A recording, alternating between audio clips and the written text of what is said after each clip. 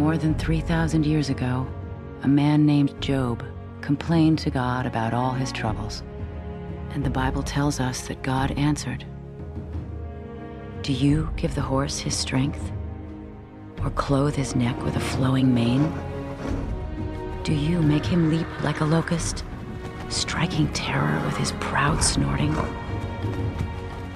He paws fiercely, rejoicing in his strength, and charges into the fray. He laughs at fear, afraid of nothing. He does not shy away from the sword.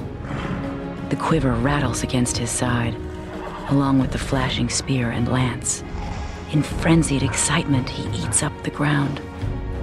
He cannot stand still when the trumpet sounds. That dream that you're holding in your mind, that it's possible. That some of you already know that it's hard. It's not easy. It's hard changing your life. But people who are running toward their dreams, life has a special kind of meaning. The people that are living their dream are finding winners to attach themselves to. The people that are living their dreams are the people that know that it's, if it's going to happen, it's up to them. And even though you face disappointments, you have to know within yourself that I can do this. Even if no one else sees it for me, I must see it for myself.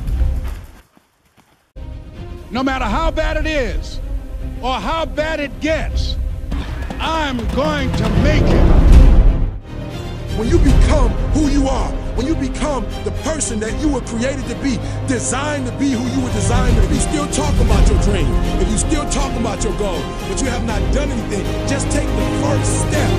That you can make your parents proud, you can make your school proud, you can touch millions of people's lives, and the world will never be the same again because you came this way. Don't let nobody steal your dream but you're still looking at your dream, reviewing it every day and say to yourself, it's not over until